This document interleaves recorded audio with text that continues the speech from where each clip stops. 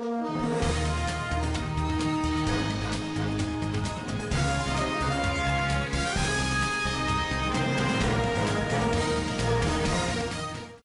MPs pledged to thwart ED's re-election campaign, according to Chamisa.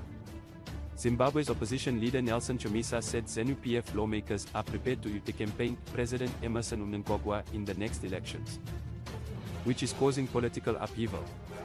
Chamisa claims that Mnangagwa's support has waned inside his own party, with legislators threatening to do a Bhora Musango. Chamisa claims that ZANU-PF lawmakers informed him that Mnangagwa has been paying those outside the party and that his reign has exclusively benefited his family. According to reports, some ZANU-PF members are dissatisfied with Mnangagwa's leadership and have accused him of forging separate party structures. He disclosed, his own MPs tell me they would do a Bhora Musango against him.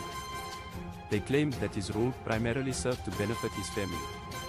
He is honoring those who are not even party members, because he doesn't trust us, that is why he established organizations like the FAZ.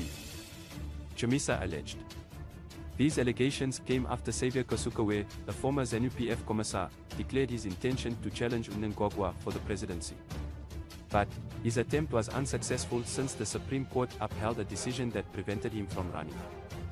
The fact that 12 of Chamisa's Bulawayo candidates filed their nomination papers after the deadline resulted in their disqualification from the ballot puts him in a similar predicament. Chamisa has charged the ruling party with exploiting its position to crush rivals. It is unclear how these occurrences will affect the election's outcome as the political fervor before the vote continues to build.